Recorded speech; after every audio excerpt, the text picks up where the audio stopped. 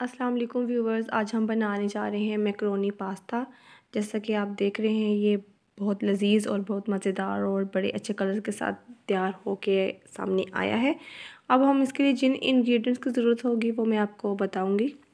हमें चाहिए इसके लिए स्पेगेटी और उसके बाद जो मैंने मैक्रो उसको मैक्रोनी ली है स्लांटी शेप में। उसके बाद एक कैरेट और कैप्सिकम उसके बाद मैंने कैबेज ली है, सबको सेम शेप में कट कर लिया है। अनियन है चॉप गार्लिक है चिकन है और मेरे पास थोड़े से कुछ ऑलिव्स रखे हुए थे, वो भी मैं ऐड कर दूँगी।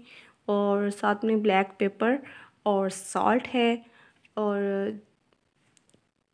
सोया सॉस और चिली सॉस है और साथ में क्रीम मैंने इसलिए रखी हुई है कि अगर जो लोग क्रीमी पास्ता खाना चाहते हैं, वो क्रीम भी यूज़ कर सकते हैं। क्रीमी पास्ता के लिए आप लोग चीज़ भी यूज़ कर सकते हैं, क्रीम भी यूज़ कर सकते हैं। तो वो मैंने इसलिए साथ में रखा था कि अगर मुझे ज़रूरत हुई, अगर मेरे ज़्यादा जो है मैक्रोनी, जो ज़्यादा मसालादार ना बन सकी तो मैं उसमें क्रीम ऐड कर दूँगी। तो अभी हम चलते हैं फुल इंग्रेडिएंट्स, आप एक बार फिर से देख लें कि मैंने क्या क्या ऐड किया है। इसमें आप सिरका, सोया सॉस वगैरह भी जो है ज़्यादा ऐड कर सकते हैं। अब मैंने ये ऑयल में गार्लिक को जो है ऐड कर दिया है। अब हम इसको फ्राई कर रहे हैं।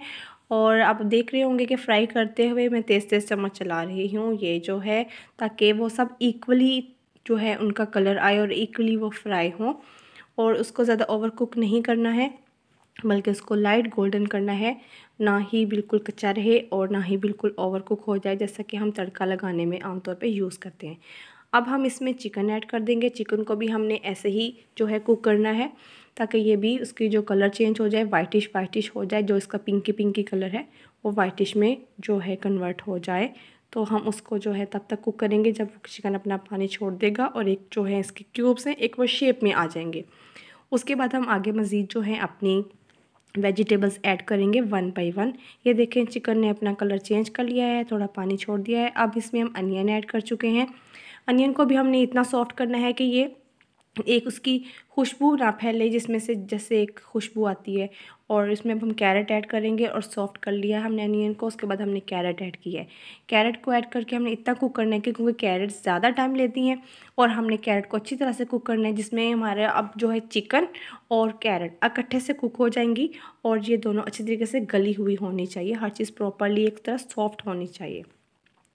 अब हम इसमें ऐड करेंगे सॉल्ट वन टेबल स्पून और हम जो है ब्लैक पेपर जो है ऐड करेंगे वन टीस्पून अपने टेस्ट के अकॉर्डिंग भी इसमें आप हर चीज़ ऐड कर सकते हैं। जैसे कुछ लोग आजकल बल्कि ज़्यादातर स्पाइसी चीज़ें पसंद की जाती हैं, आप इनको जो है ब्लैक पेपर की क्वांटिटी आप डबल कर दें। Soya sauce one tablespoon इसको भी आप टू टेबल स्पून ऐड कर सकते हैं। चिली सॉस है two tablespoon three tablespoon भी ऐड किया जा सकता है।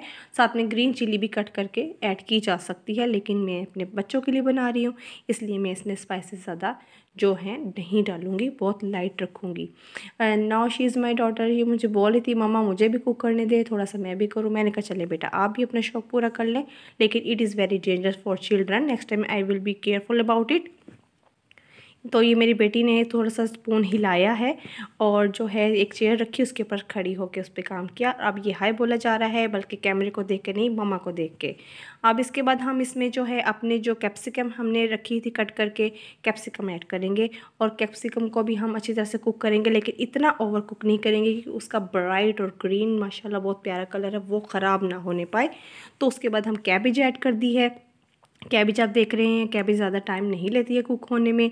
अब हमने इसमें कैबिज ऐड कर दी है और इसको भी हम अच्छी तरीके से मिक्स करेंगे ताकि हर चीज़ में मसाला प्रॉपरली चला जाए।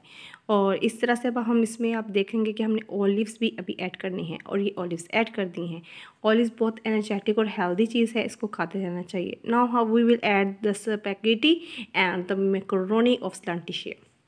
Now it is going to near cook properly अब ये एक हमारे पूरी रेडी होने जा रही है near to ready our recipe तो अब हम इसको अच्छी तरह से मिक्स करेंगे।